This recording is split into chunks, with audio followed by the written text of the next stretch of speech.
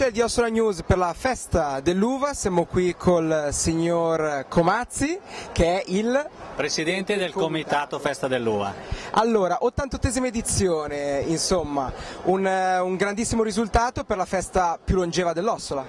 Sì, sicuramente dopo 88 anni di, di sagre, di feste e, e, di prodotti tipici che andiamo a valorizzare, eh, quest'anno abbiamo diciamo, inserito una novità a livello culinario, quindi abbiamo fatto un, un, il nuovo ristorante dove proponiamo piatti sempre comunque tipici con eh, 5 ristoratori eh, ossolani di, di alta qualità e questo proprio per dare dei prodotti sempre ad un certo livello per tutte le persone che partecipano alla festa dell'uva. Quindi parliamo di prodotti a chilometro zero, quindi incentiviamo anche eh, quello che è i prodotti locali e soprattutto i ristoranti locali e facciamo conoscere l'Ossola anche a chi ci sta guardando ma soprattutto chi arriva da fuori. Sì esatto, infatti abbiamo cominciato ieri sera con la pasta e bajan che è diventata la deco comunale e sicuramente un, un, un ottimo trampolino di lancio bilancio, infatti la, eh, ieri sera ci sono state veramente tante persone che hanno mangiato la pasta e bajan eh, questo è un buon segno.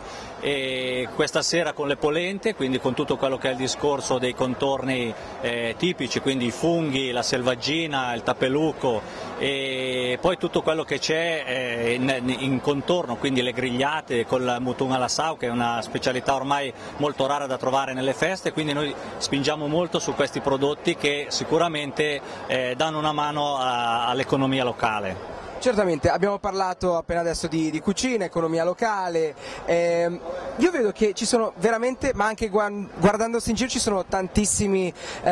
persone che si adoperano per, per far uscire al meglio questa festa. Sì, eh, abbiamo contato che siamo all'incirca 350 volontari che quindi eh, lavorano non solo per i 5 giorni di festa che tutti vedono, ma dietro c'è tantissimo lavoro eh, che comincia mesi prima e, e, anche settimane dopo perché poi bisogna comunque ritirare e mettere a posto. E dobbiamo dire sicuramente che il successo di questa festa è sicuramente grazie ai volontari che, che, che tutti si danno da fare e tutti eh, senza percepire nessun compenso, Questo, quindi bisogna veramente veramente fare un plauso a tutte queste persone che eh, soprattutto di Masera ma anche dai paesi vicini che vengono a darci una mano. Ok, una cosa, dato che siamo vicini al novantesimo, magari qualcosa proprio per, il, per, un, per, una grande festa per il futuro, che magari non siete riusciti a organizzare quest'anno ma avete in mente per gli anni successivi? No, sicuramente non possiamo anticipare nulla perché deve essere una sorpresa, perché non vorremmo che poi qualcuno ci, ci anticipi su qualche idea. Eh, ma intanto i 90 anni li fate, gli 89 e 90 li fate solo voi, quindi?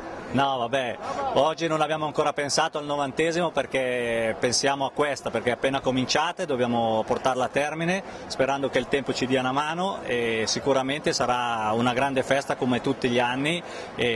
eh, con tanta gente che verrà a trovarci. Insomma. Perfetto, quindi grazie mille e in bocca al lupo. Grazie a voi, arrivederci.